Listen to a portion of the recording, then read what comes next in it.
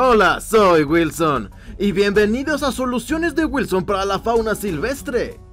El día de hoy les voy a hablar sobre el perfil de la criatura Mar. Resumen. Nombre Mar. Especie Felis catus, gato doméstico. Cuidador principal Alejandro Vicuña del equipo terrestre.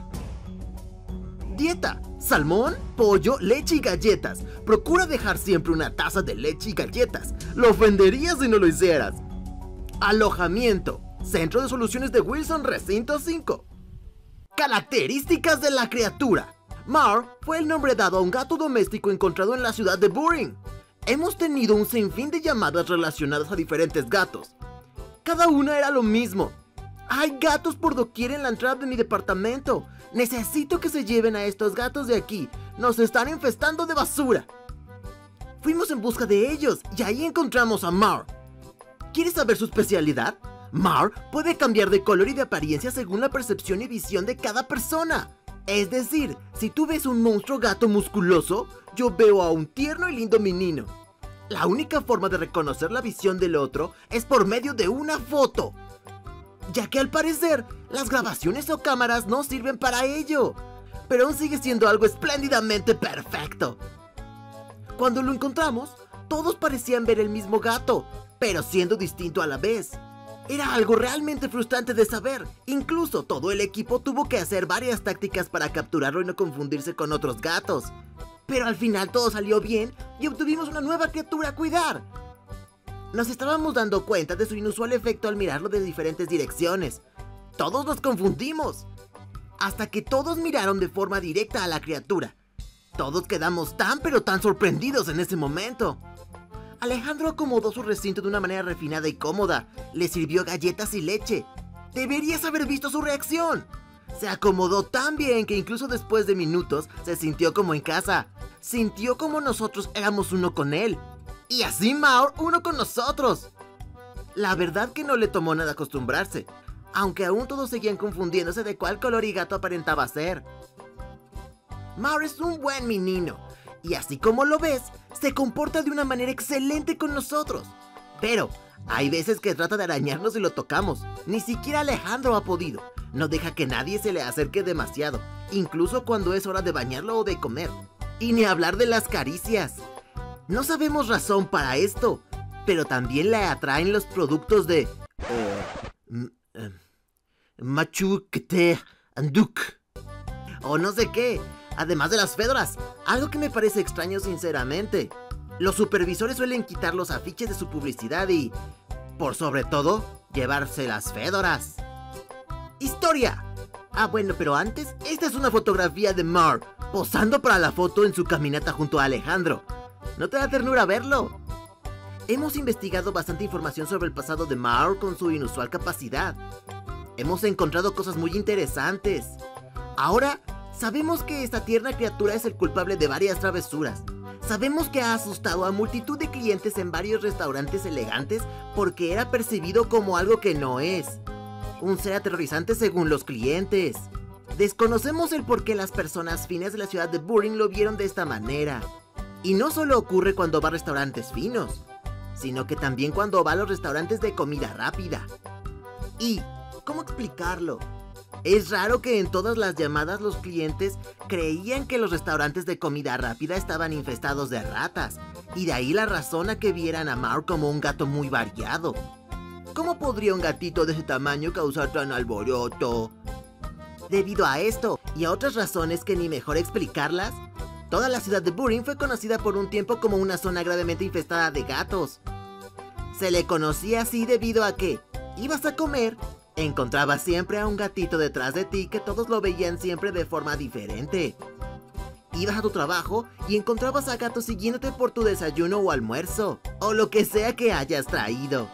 Pero así de grave era la situación en la ciudad.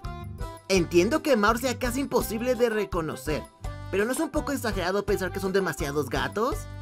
Además de que ni siquiera nuestros supervisores estaban enterados de este pequeño problema. Ahora mismo, la ciudad parece estar mucho más alegre, Y por lo que vemos, muchas tiendas reabrieron así como otras nacieron. Ya no tendrías que estar dentro de tu hogar esperando a que ese gato cambie apariencias de vaya. Pero en fin, no me gustó saber todo este alboroto causado por nuestro tierno gatito. Y espero ya no ver más problemas de este tipo relacionados al rechazo y odio a una criatura. Es algo imperdonable y que dentro de Wilson es considerado pecado. Necesidades especiales y hospedaje. Mar puede cuidarse por sí mismo, pero Alejandro procura dejarle todo amueblado, acomodado y refinado para nuestra linda criatura. Y cada vez que Maur necesita algo especial, Alejandro vendrá en su búsqueda por él, para darle todo lo que necesite. Absolutamente todo. Pero, si no está Alejandro, empieza a descontrolarse y arañar todo. Parece que tanto apego a Alejandro ocasionó que fuera una parte muy importante de él. ¿Saben? Cada vez que veo cosas así muero de ternura. Es simplemente lo mejor. Nota sobre Maur. Hemos encontrado algo muy, muy, muy sorprendente. Tan sorprendente que ni siquiera podría creerlo. Todo este tiempo, Maur tenía una de esos productos de Fedora de Marshall, como se llame. Luego de que hubiera un accidente relacionado con Popó, comida y Maur, pudimos ver que en realidad era una criatura totalmente diferente a la que estábamos acostumbrados. Incluso le dio pena y nervios de mostrarse como era. No sabemos de dónde salió esa Fedora, pero algo es seguro. Esos tipos malos estaban experimentando con nuestro tierno Maur. Al parecer, ese Fedora o lo que sea te transforma en lo que crees que eres y por cómo se te percibe. En este caso, era tratado como un tierno roedor y creía que lo era, así como también se comportaba de manera fina debido a su variable personalidad. De ahí su cambio de color.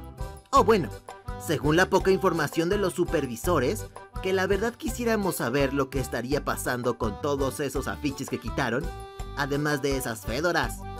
Maur debe ser aceptado tal y como es. Nadie debe juzgarlo por cómo es. El menino no sabía lo que hacía, aunque nosotros tampoco sabíamos cómo percibirlo. Aún así, sigue siendo una criatura a cuidar en nuestro grandioso centro de soluciones de Wilson para la fauna silvestre. Ah, pero antes de que te vayas, dime, ¿quieres ver la sorprendente apariencia real de Maur? Mira, esta es la asombrosa verdadera apariencia de Maur. ¿Por qué querría ocultarnos algo así? Un interesante artículo de soluciones de Wilson para la fauna silvestre, que habla sobre el enigmático ente conocido como Meow. Espero pronunciarlo bien, ¿lo estoy pronunciando bien? Como ya es costumbre, estoy con Amalia, Amalia Mondragón. Amalia, ¿cómo te encuentras? Una vez más, bastante bien. Adoro los archivos de Wilson. Soy fanática de los animalitos, la verdad. Hacía muchos, muchos años que no me encontraba con un artículo tan interesante de Wilson. Creo que el último que leí fueron las tortugas de la serenidad. Y este artículo en particular me pareció muy interesante porque conozco cierto detective que tiene el mismo nombre. Y debido a las cualidades de esta criatura me hace pensar que es el mismo ente. ¿Usted sabe algo al respecto, señorita Amalia? Tal vez. Me suena haber oído un nombre similar en un archivo de la Biblioteca de los Errantes. En la Biblioteca de los Errantes. Sorprendente.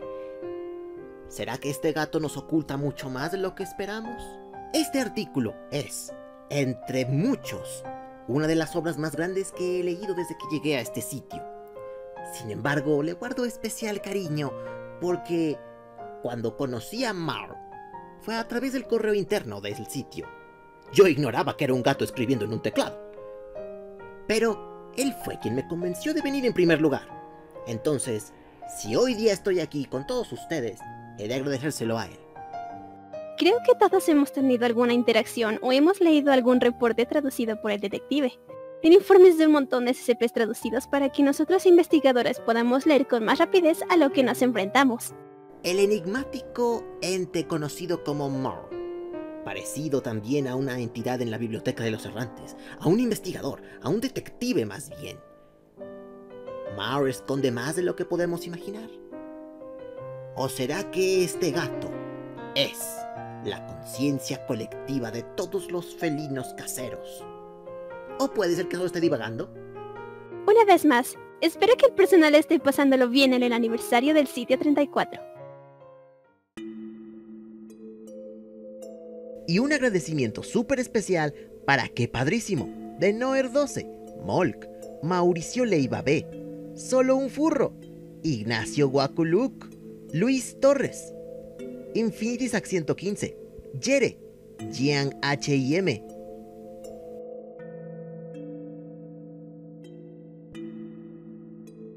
Ricardo Aldana, de Greywich 29, Aido 21, El Imperio Galáctico Humano, Eric Orellana. Todo su apoyo me ayuda para seguir mejorando el contenido del canal. No olviden revisar la sección de comunidad para sus recompensas. Y si les gusta el contenido de la fundación, suscríbanse al canal de Expediente 34 de la doctora Amalia y también a Homosu para estar siempre al día de narraciones y explicaciones fidedignas de los artículos de la SCP.